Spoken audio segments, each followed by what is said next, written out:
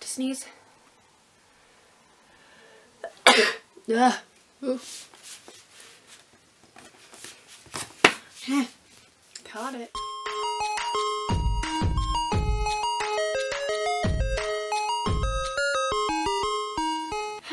Everybody, it's your girl Jay and today I am here with my part 4, the final wrap up for November 2020. I read a total of 20 books this month, so these are the last 5 that I read, so without further ado, let us get started. The first book that I'm going to talk about is Bitterblue by Kristin Cashore. This is the companion novel to Graceling. I gave this a 4 out of 5 stars. This book follows Bitterblue, who after the death of her psychotic father, King Leck, an evil mind manipulator, dies 8 years ago. She becomes the Queen of Monsea. She wishes to know the full extent of the damage that her father caused on her kingdom, so she disguises herself every night and sneaks out of the kingdom. During her first outing, she meets two thieves who take her under their wing and help her discover things about herself that her father made her forget. So like I said, this is the companion novel to Graceling. I read Fire, which is the other companion novel, and I didn't like it. This one I enjoyed a lot more than Fire, but not as much as the Graceling. I really liked reading from Bitterblue's perspective though. I think that she's a great main character. I also just really loved seeing Katsa and Po again because I absolutely adored them in the first book so it was nice to see where they're at eight years later. If I did have to give a complaint about this book it was that the beginning was so slow. It took me so long to become invested in the story. But once I was invested in the story I was invested in the story. I also didn't really love the ending because I feel that Bitterblue and Saf's relationship ended so abruptly it just wasn't satisfying in my opinion. I did really like the inclusion of the ciphers. I think that that was a really cool addition to the story. I also loved Death, the castle librarian. He was really cool. I really enjoyed trying to figure out the mystery behind King Leck's rule and what his advisors had to go through. Overall, I did really enjoy my time in this world and I'm very excited to pick up Winterkeep sometime in the future.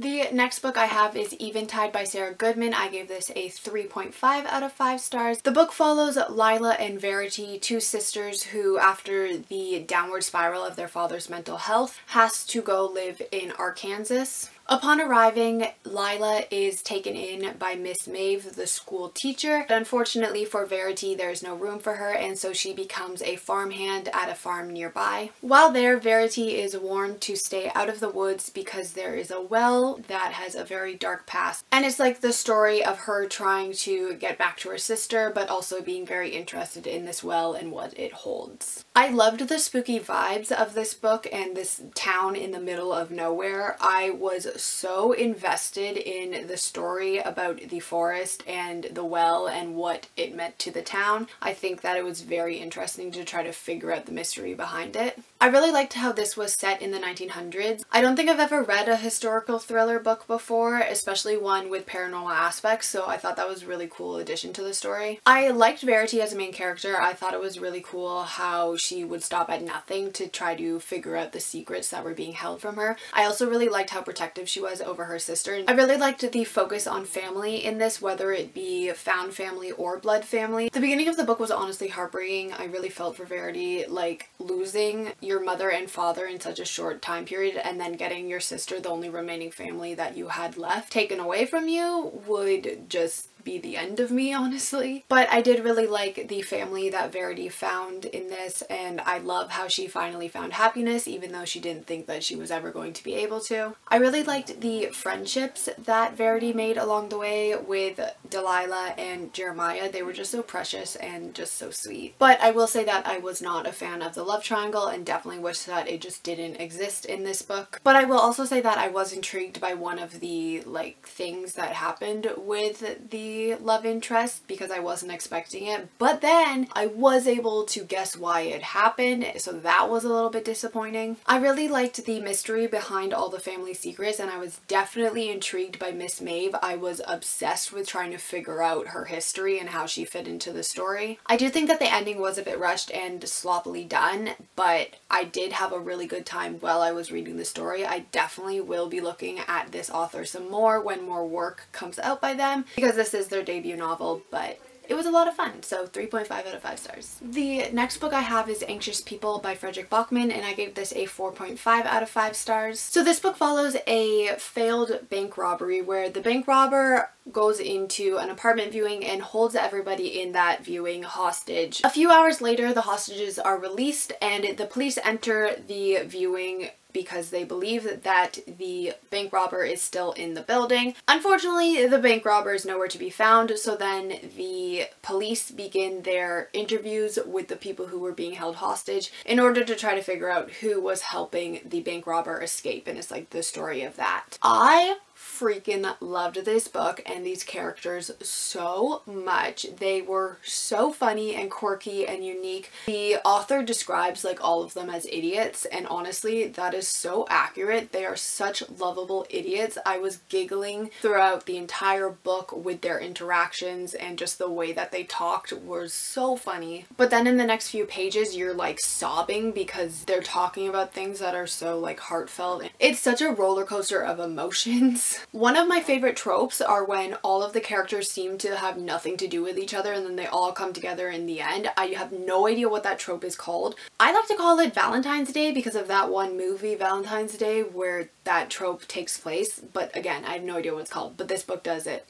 Chef's Kiss, let me tell ya. Although this book is overly funny and has you laughing out loud. It also touches on some deeper topics like suicide, mental illness, and what it means to be a parent. So I've never read a Fredrik Backman book, but after reading this, I want to pick up literally everything they've ever written because I just love this book. So, so that's my plan for the near future. Find every Fredrik Backman book that's ever been written and binge read them all. The next book I have is A Study in Charlotte. This is by Brittany Cavallaro, and I gave this 3.5 out of 5 stars. It follows Charlotte Holmes, who is the great great great great granddaughter of Sherlock Holmes. She's attending university in Connecticut where she meets Jamie Watson who she becomes instant rivals with. That is until a student that they recently threatened turns up dead which makes them the prime suspects in a murder investigation so now they need to work together in order to clear their names before it's too late and it's like the story of that. This was actually a lot better than I thought it was going to be. Honestly, I had such low expectations for this book but I was pleasantly surprised. I really liked how the story was told from Jamie's point of view and we got to see Charlotte from his eyes. I think that that was a great way to tell the story. The book is very fast paced, very action packed. I absolutely adored Charlotte as a main character. I thought she was so ruthless and I absolutely loved that about her. She was just so kick-ass and such a strong female lead. I'm very excited to pick up the next book in the series just to see more of Charlotte. I didn't realize that the book was going to touch on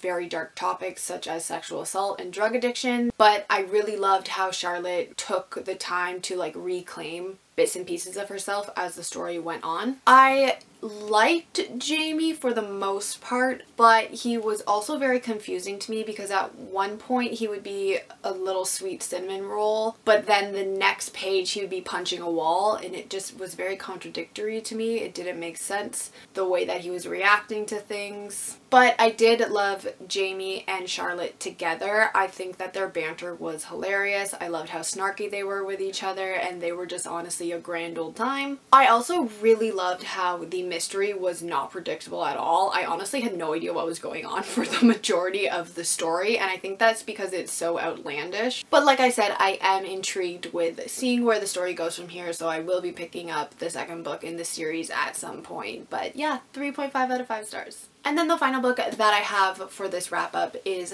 Catwoman Soulstealer by Sarah J Maas and I give this a 4 out of 5 stars. The book follows Selina Kyle who leaves Gotham City only to return two years later as Holly Vanderhees who is a blonde socialite by day and Catwoman by night. The book also follows Batwing who is also known as Luke Fox. He is left in charge of protecting Gotham City while Batman is away on a top secret mission and it's like the story of those two interacting. I liked this way more than I thought I was going to. I did not have the highest hopes for it because a lot of people rate these DC icon books average, like three stars. So I like I said, did not have the highest hopes, but pleasantly surprised. This book is insanely fast-paced. I don't think there was a dull moment in it at all right from the very first chapter. I was instantly hooked on these characters and their story. I am the biggest fan of villain stories. I instantly fell in love with Selina and her ferocity in protecting the ones that she loves. The inclusion of Harley Quinn and Poison Ivy was by far my favorite part of this book. They are two of my favorite DC characters, so I had no idea that they would be included in this book. So I like physically gasped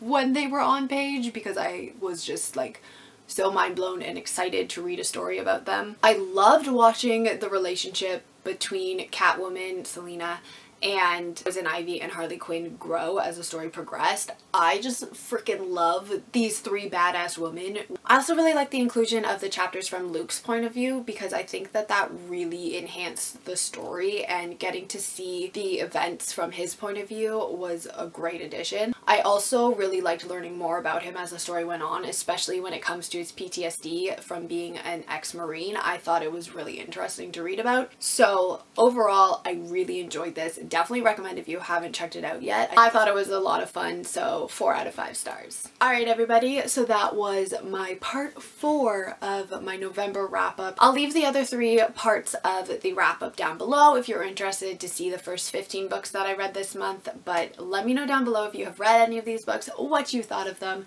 and I will see you all in the next video. Goodbye!